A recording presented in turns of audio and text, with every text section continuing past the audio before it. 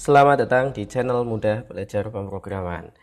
Pada tutorial kali ini kita akan mengkonfigurasikan icon dari aplikasi mobile yang kita buat menggunakan PhoneGap.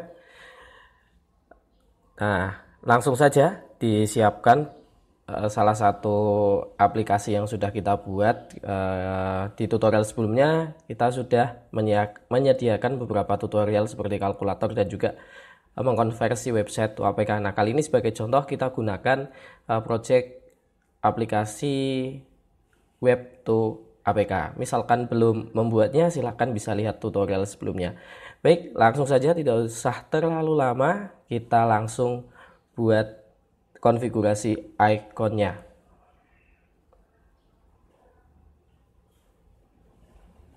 Oke, pertama yang perlu diperhatikan di sini adalah kita harus menyiapkan icon dari aplikasi yang uh, kita buat tersebut. Nah, di sini uh, kemarin kan kita buat Tokopedia ya. Uh, kita mengarahkan aplikasi ke websitenya Tokopedia. Nah, di sini kita misalkan uh, download icon dari Tokopedia.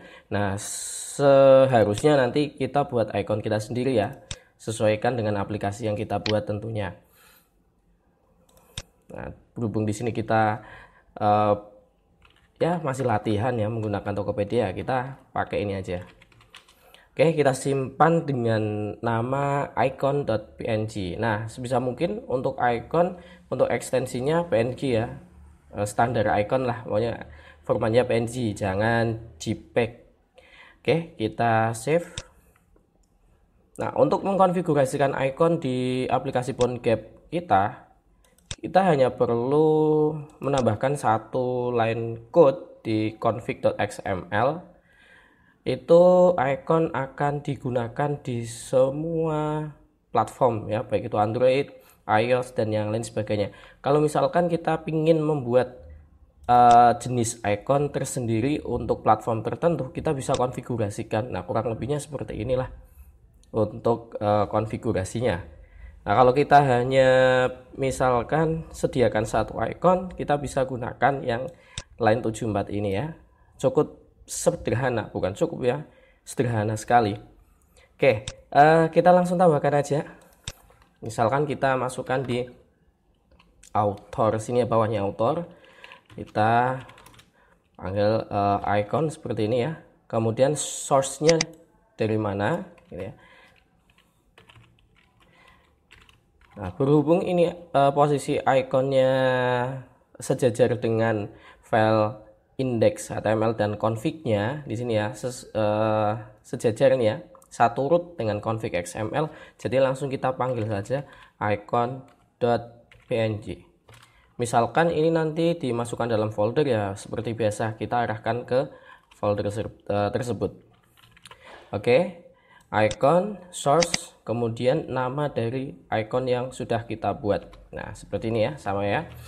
Oke nah kemudian tahap selanjutnya apa? Tahap selanjutnya adalah kita langsung build. Jangan lupa nah kita zip kembali ya kita kompres kembali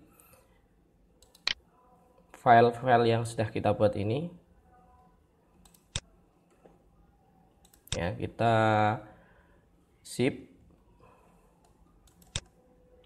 oke kalau sudah nah silahkan anda build ke PhoneGap sendiri ya. Nah, kalau misalkan Anda semua baru pertama kali melihat video ini, Anda bisa lihat di uh, tutorial sebelumnya yaitu web to APK seperti itu. Nah, kurang lebihnya nanti hasilnya adalah seperti ini. Nah, silahkan nanti bisa uh, dilihat. Kalau misalkan ada yang belum berhasil, nah kemungkinannya ada di sini. Nah ini di bagian version, ya di bagian version.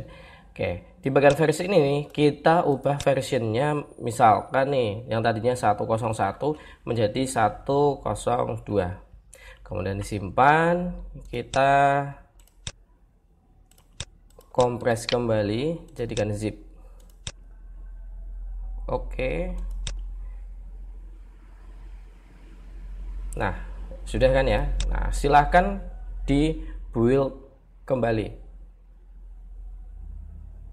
harusnya sesuai dengan yang anda lihat di samping layar anda seperti itu ya baik cukup mudah kan untuk membuat icon atau mengkonfigurasikan icon untuk aplikasi PhoneGap kita.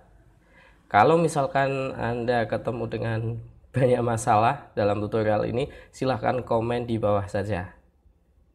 Baik sekian untuk tutorial kali ini. Nantikan tutorial berikutnya. Sampai jumpa. Bye bye